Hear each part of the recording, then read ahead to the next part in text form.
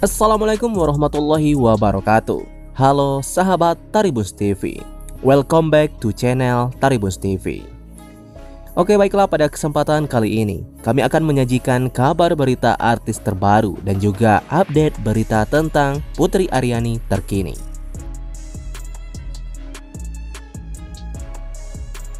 Putri Aryani masuk dapur rekaman di kontrak label musik Amerika Serikat Putri Aryani AGT 2023 siap rilis lagu berbahasa Inggris terbaru, insya Allah. Namun seperti biasa, sebelum kita lanjut ke pembahasannya jangan lupa untuk subscribe channel ini terlebih dahulu. Bila Anda suka dengan videonya jangan lupa untuk memberikan like dan tuliskanlah komentar Anda di bawah ini. Putri Aryani siap merilis lagu berbahasa Inggris. Kemampuannya dalam bermusik tak perlu diragukan lagi.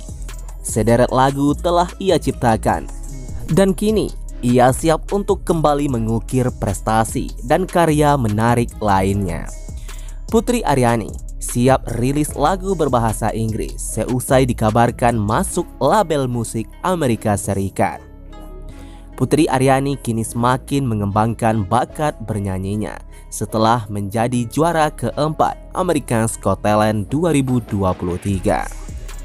Gadis yang berusia 17 tahun itu kini tengah bersiap untuk perilisan lagu barunya. Ia sempat membeberkan lagu berbahasa Inggris yang akan ia rilis.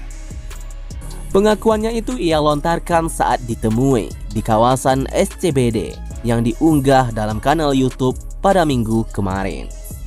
Insya Allah dan nanti saya akan rilis lagu baru pada tanggal 3 November. Single lagi berbahasa Inggris. Jadi tunggu aja ucap Putri Aryani. Kini Putri Aryani tampak bangga dan bahagia atas pencapaiannya yang sekarang.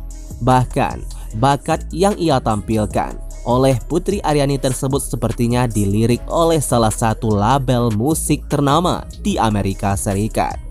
Kabar itu semakin menguat setelah Putri Aryani merahasiakan hal tersebut. Ia sempat bungkam akan kabar terkait dirinya yang digandeng label musik ternama di Amerika Serikat itu. Putri Aryani dikabarkan akan segera susul Agnes Mo untuk menjadi diva internasional. Putri Aryani, walaupun gagal menjuarai ajang bergengsi American Got Talent 2023, kelihayan Putri Aryani dalam bernyanyi sembari bermain musik sangat dikagumi publik. Terkini, Putri Aryani menyatakan tengah menyiapkan lagu untuk perilisan album barunya. Gadis yang mendapatkan beasiswa kuliah di luar negeri, De Juilliard School, tampak bangga dan bahagia atas pencapaiannya yang sekarang ini. Namun dirinya masih menyembunyikan kebenaran kalau dirinya dikontrak oleh label musik Amerika Serikat. Putri Aryani ogah memberikan bocorannya. Itu rahasia, ujar Putri Aryani. Putri Aryani penyanyi asal Indonesia gagal menjuarai ajang American Got Talent 2023. Ia finish di urutan keempat pada ajang pencarian bakat di Amerika Serikat itu. Namun demikian, bukan berarti karir Putri Aryani di negeri Paman Sam itu berakhir. Bahkan terkini, dikabarkan Putri Aryani dikontrak dan digandeng oleh label musik Amerika Serikat. Apakah Putri Aryani bakal mengikuti jejak Agnes Mo yang malang melintang berkarir di Amerika Serikat? Hilang Tanpa Kabar merupakan single terbaru dari Putri Aryani yang menjuarai keempat American Got Talent 2023. Lagu ini diunggah di YouTube milik Putri Aryani. Tertulis keterangan pada unggahan tersebut hilang tanpa kabar. Fit Langit Sore. Ternyata Putri Aryani pernah dibayar pakai beras sebelum sukses seperti sekarang. Keberhasilan Putri Aryani dalam mencapai babak final di ajang American Got Talent pada bulan September lalu telah menjadi prestasi yang membanggakan bagi seluruh masyarakat Indonesia.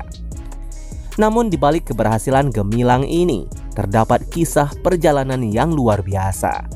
Sebelum kita memahami bagaimana Putri Aryani mencapai keberhasilan ini, mari kita kenal lebih dekat dengan sosok Putri Aryani. Putri Aryani seorang gadis muda berbakat dari Indonesia ternyata memiliki latar belakang yang sangat luar biasa.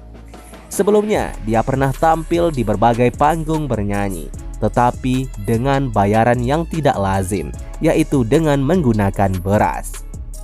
Meskipun harus berjuang melalui rintangan dan tantangan yang tidak mudah, Putri Aryani tak pernah menyerah.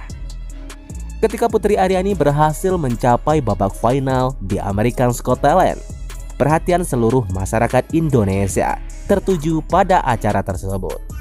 American Talent merupakan ajang yang sangat terkenal di Amerika dan kehadiran seorang gadis Indonesia di babak final adalah pencapaian yang sangat luar biasa. Meskipun Putri Aryani tidak berhasil menjadi pemenang pertama, meraih posisi keempat adalah prestasi yang patut diapresiasi. Putri Aryani adalah satu-satunya anak Indonesia yang berhasil meraih prestasi setinggi itu di ajang yang bergengsi tersebut. Apa yang telah dicapai oleh Putri Aryani telah mengharumkan nama bangsa di tingkat dunia dan kita semua berhutang budi pada dukungan masyarakat Indonesia yang selalu mendukungnya.